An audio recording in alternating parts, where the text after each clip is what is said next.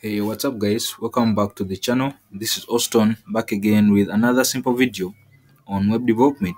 As I promised you, I'm going to be showing you how we can implement our toasts on real working projects. So, this is what I showed you in the previous tutorial on how to create these toasts. You're seeing posted successfully, deleted successfully, passwords match, they don't match, validating any kind of feedback that you want to give to the user when they take action on your website. So this is already a working project. So when the user tries to click this button without filling anything, check on the right hand side. They're going to tell the user, please fill in all the fields. So that's some working validation of the form. Then if they are to enter things that do not match, so passwords that do not match, and they click check, you'll see passwords do not match. And if they are to put in passwords that match, they'll get password matched. Please wait. And I put in some set timeout function that is going to be redirecting users to the page I want. So stick around if you like this tutorial and you're ready to learn what we are, how we are going to implement those different toasts on different validation phases. So that's what I'm going to be showing you in this simple tutorial on this already designed form. I'm just going to pass you through the markup on how I created this. Then we go into our validation because that's what has brought us here, non-designing the whole form. But in case you want to know how we design such forms, I already have tutorials about this same framework, Materialize. You'll be able to see how we create different forms.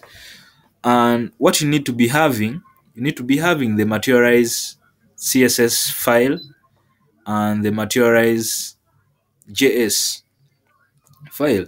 So right now my project is inside a folder called JSON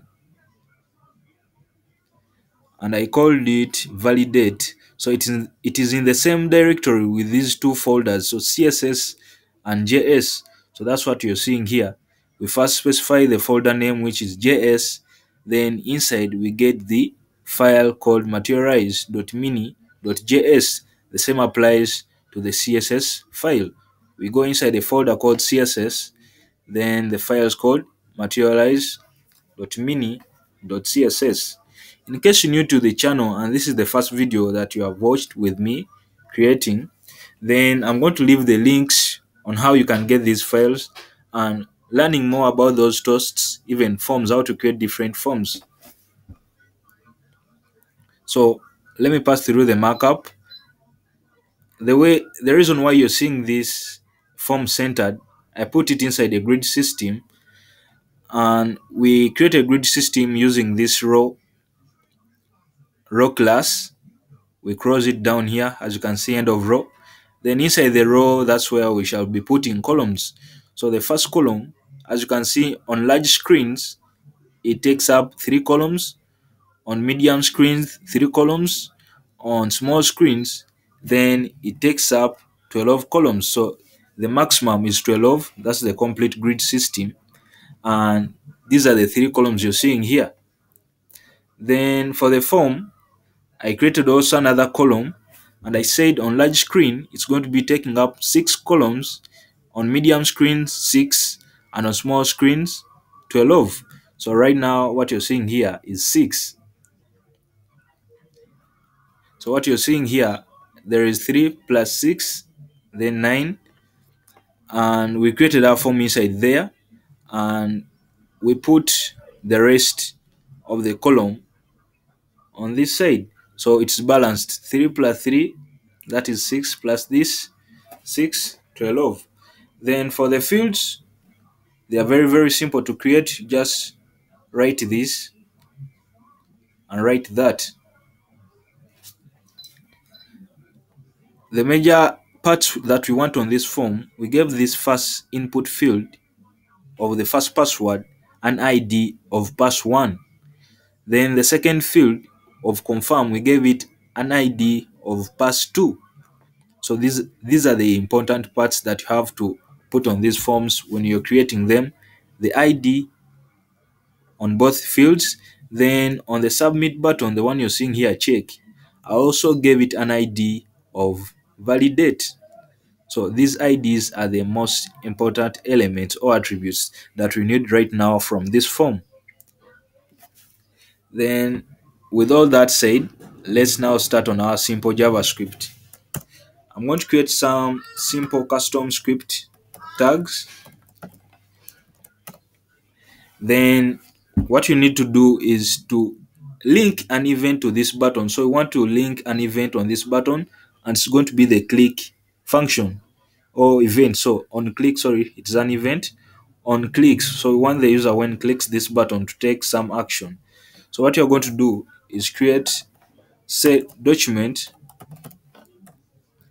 dot get element by id so you have to write it the way you're seeing it there and what you need to get is this input in this submit button that has the id of validate. So i'm going to write here validate. Then i want to add an event listener on it. So i'll say add event listener. And the event I want to add on it is the click event.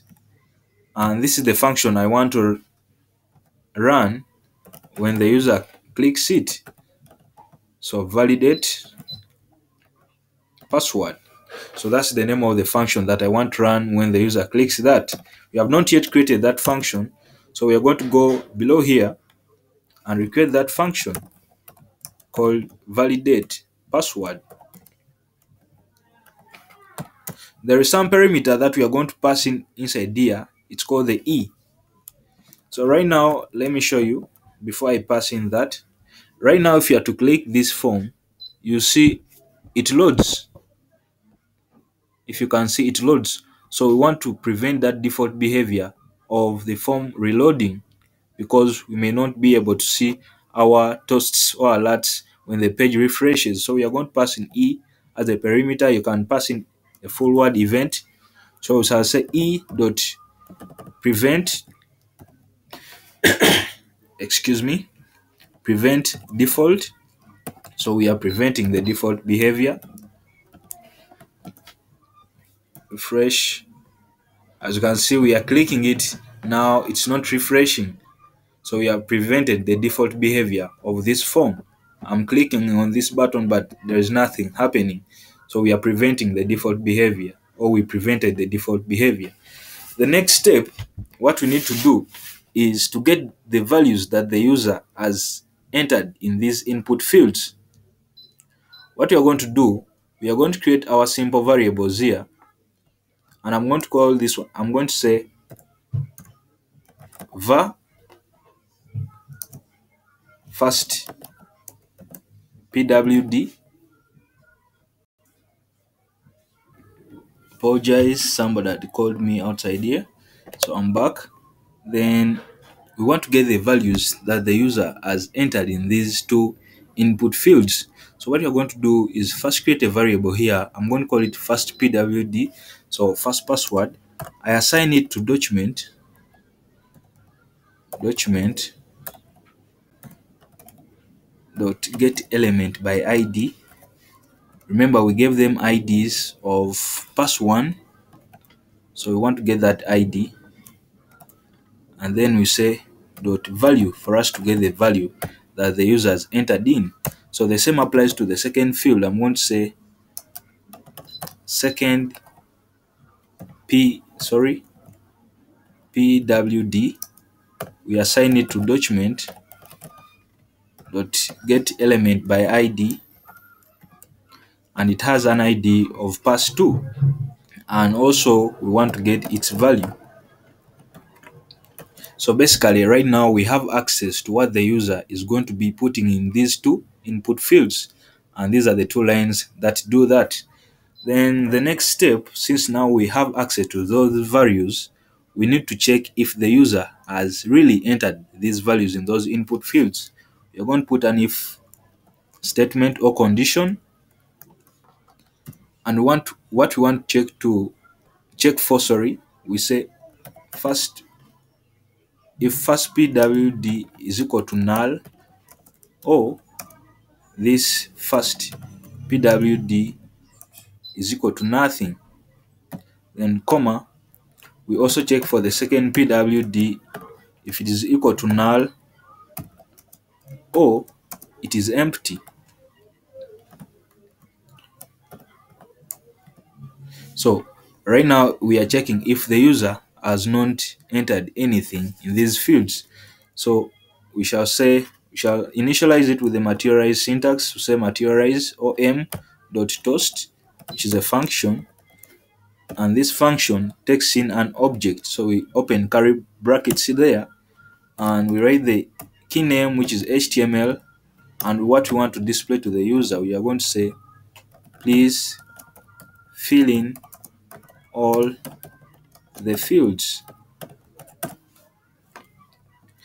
And we don't want the user to continue we shall return false so let us refresh this page. When the user clicks this oh why is it refreshing? It will prevent the default behavior.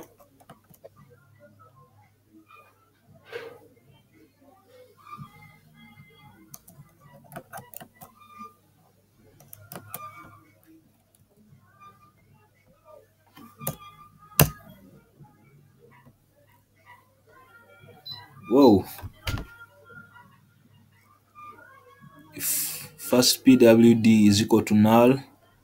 First speed oh here. We missed one equal sign there. Let's refresh.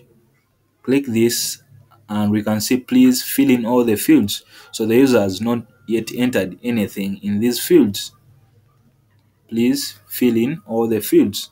So basically now we have checked for the first condition when the user has not entered anything in these fields.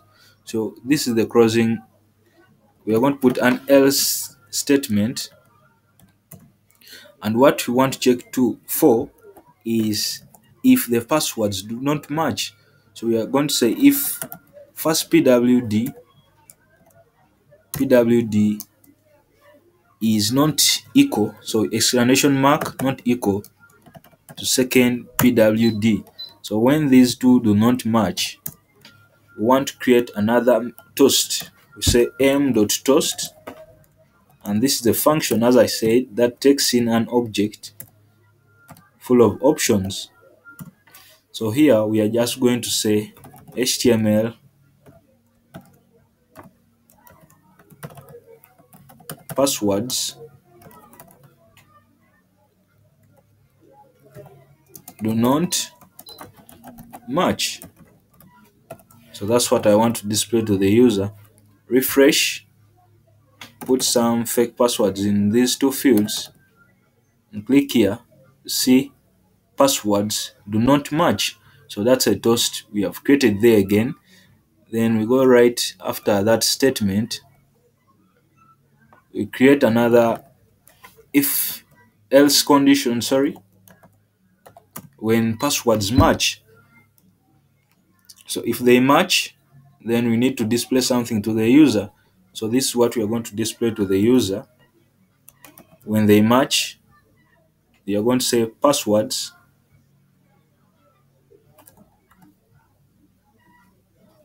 passwords matched please wait refresh the page and put in passwords that match. You see passwords matched. Please wait. So that's how we can validate this simple form that you saw. And this is the simple code that you have to write to validate.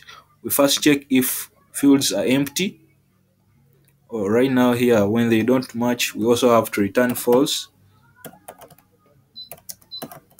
but it still works but we have to follow the rules.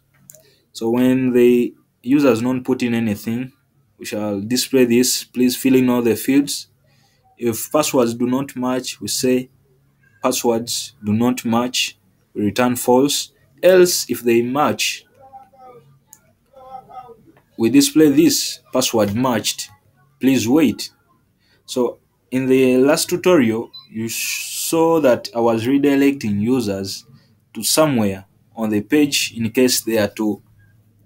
It's the way you will have to do it when somebody enters in a password that matches, then they have to continue to the next page. So what I did, I just put some window object here and I created the set timeout function, set timeout. We pass in the callback function,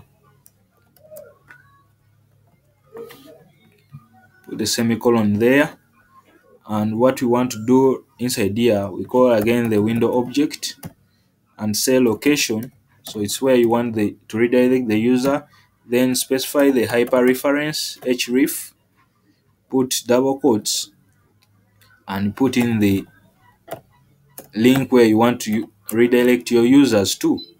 So right now, maybe I want you to go to YouTube.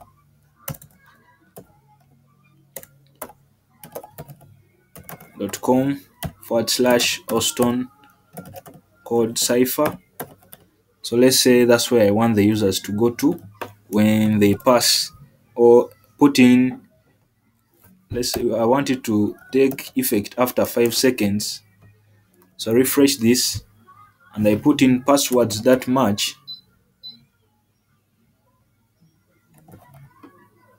Click this. So it will be there for some data length of four seconds. Then after they redirect the user to that page that I want them to go to. So let me first turn on my internet here. Faster, faster.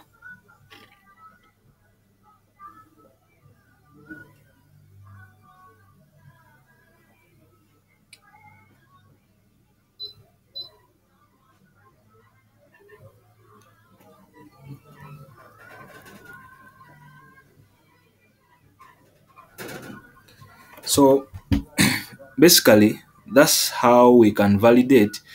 And if you're new to this channel and it's it's the first video that you watched with me then we can pass in different options to these toasts we created. So let's say we want them to be circular we can say classes. And it's a string we say rounded so i'm going to go on putting this class on every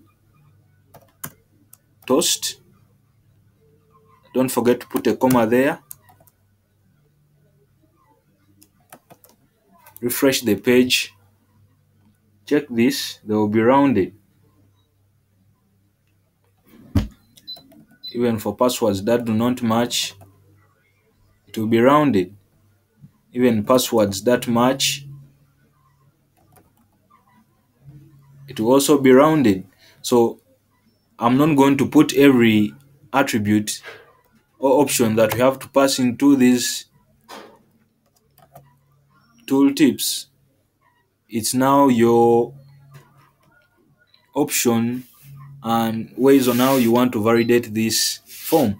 So as you can see the set timeout function has worked after some five seconds. So the default display length or the time it takes to show these toasts it's four seconds. Then that's why i put here five seconds. So after these four seconds when the toast has disappeared then they'll redirect the users to my channel. So guys feel free to subscribe to my channel like the video share it on different social medias and i'll be seeing you in the next tutorials. Peace